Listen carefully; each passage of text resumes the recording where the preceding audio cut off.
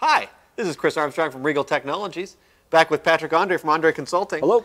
Hi, Patrick. Today, Patrick, I want to talk a little bit about radiated emissions. Okay. So we have a little proto board set up here that we've worked with, a little near field probe set on it. We're actually going to highlight a little activity here, really just on the FPGA that sort of runs this board. Right.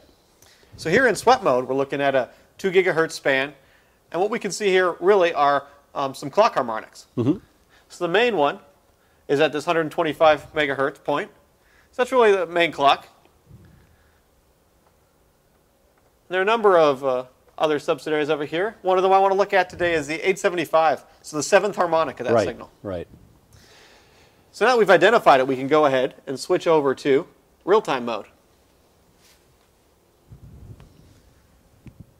So now what we will see here in a second is a real-time capture. So that is a uh, gapless capture um, right around of the 40 megahertz, right around that 875 megahertz clock.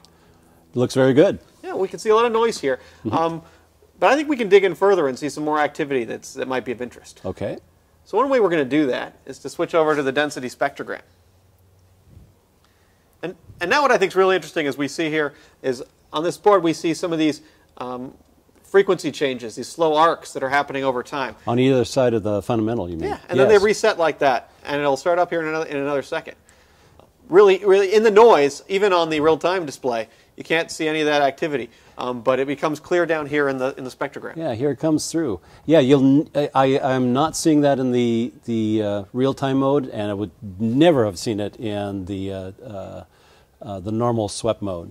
Yeah, so we were hypothesizing what we think this might be. And it may be some sort of uh, motion or dithering on the 125 megahertz clock that now has been expanded to a wider span on the seventh harmonic. That can be very valuable.